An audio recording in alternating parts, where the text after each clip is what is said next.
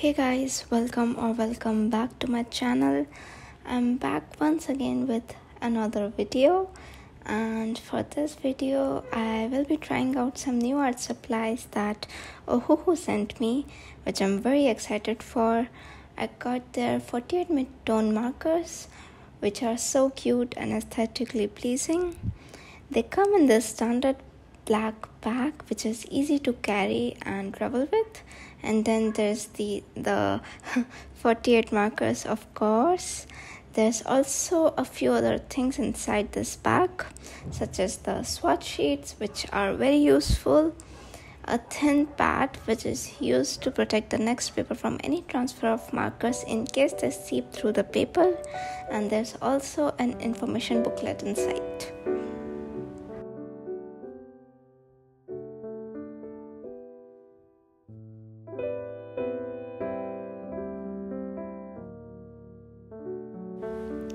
Next, I received some of their fine liners as well, and their tip thickness ranges from 1 mm to 0.05 mm, which is very very thin. And there's also one brush pen inside it, so I'm very excited to try these out as well. I also got an Ohuhu mixed media pad, which has a really nice texture to sketch on plus it's so thick. It has 62 pages. I hope i'm able to finish this sketchbook someday even though all my sketchbooks are almost never completed. This sketchbook this sketchbook also comes with that thin pad which can be used to protect the next paper from markers seeping through it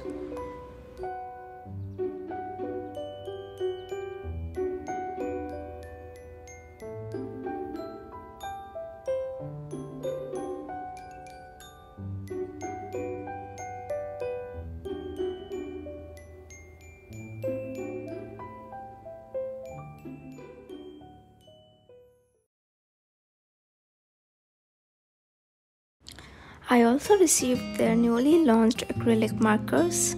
There's 30 markers in this, but I will try these out in a different video. And for now, I will be focusing mainly on the Ohuhu 48 mid-tone alcohol markers. Let's get started. I'm starting with some simple swatches on the provided swatch sheet.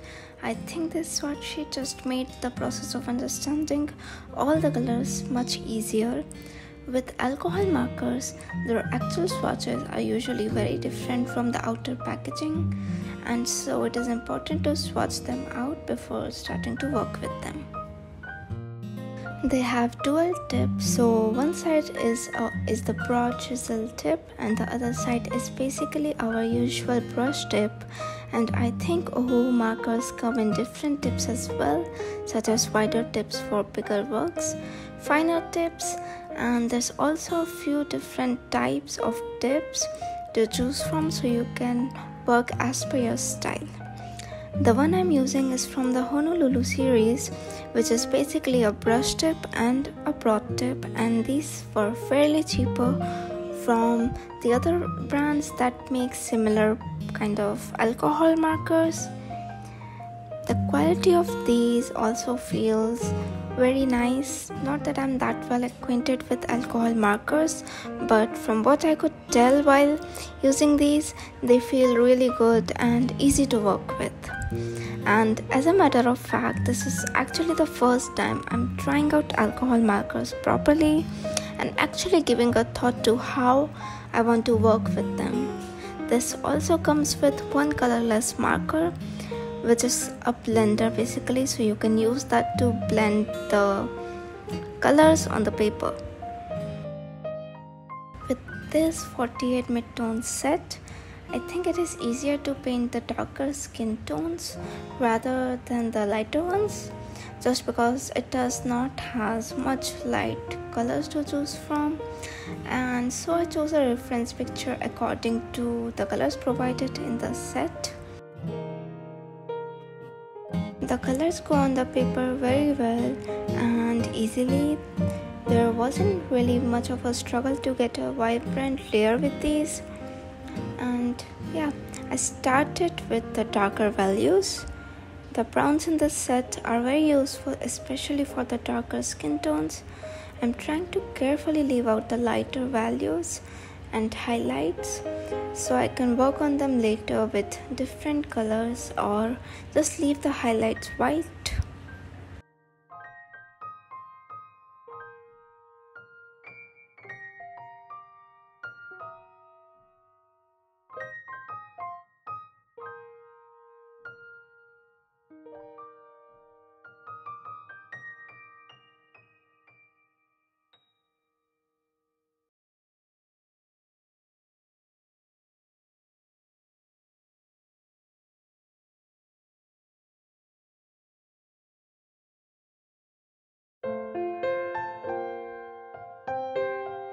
I realized while doing this sketch with markers that you really need different colors for different values as it is not really possible to lighten a color once it is placed on the paper and hence why such big sets of alcohol markers are great options if you like to work in many different skin tones. Although you can build up the colors by layering them on top of each other and you can also use the blender to lift up the color from the paper.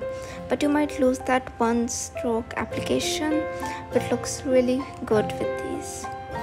You can also try mixing two colors on the paper by layering them on top of each other to get different and more interesting shades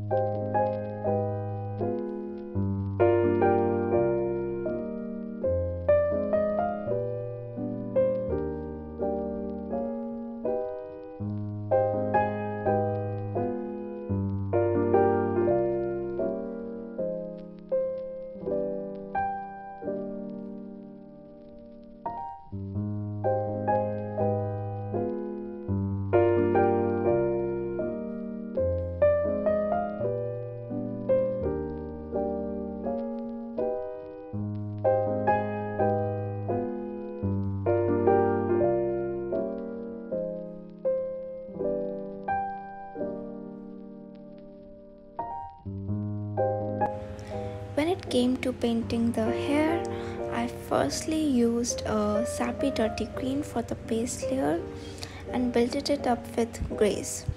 For darker areas, I kept building the same gray color as much as possible as this particular set does not contain of a black. Considering that it is a mid-tone set, it's not even expected to have a black in it.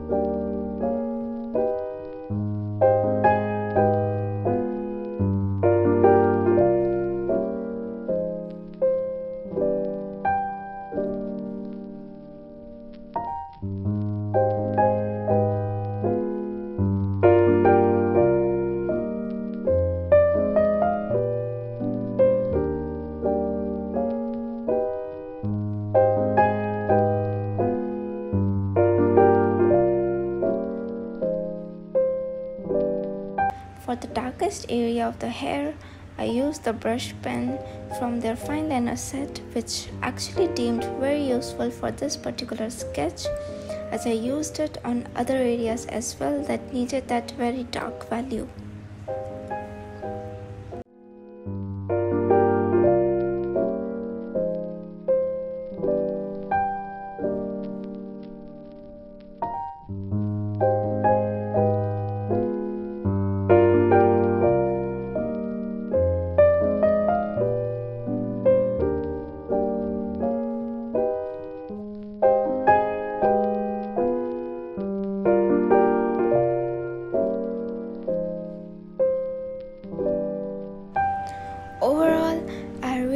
This set even though I'm not fully qualified to review it. It was a very pleasant and seamless process for me. There were not many hurdles in between, and I enjoyed working with them. I kind of do wish I had a bigger set just so I could experiment with more skin tones and more colors, but that's just me being nitpicky. Um, I think they are they they layer really well. Plus, I really like the blending marker. It can be used to fix small mistakes and also blend out the colors. And I'm looking forward to experimenting with these more and explore painting with alcohol markers. The mixed media pad was also so nice to work with. I loved its texture and none of that marker actually bled through to the next paper which is great. And sketching on the sketchbook was also a delight. The, the pencil just glided on it. I also want to work with different mediums on this to see how well it handles water I was only able to use the brush pen from the fine liner set, but it was also a pleasure. And yeah, I look forward to experimenting with these art supplies much more. In the end, I just went over the areas that needed some highlights with my white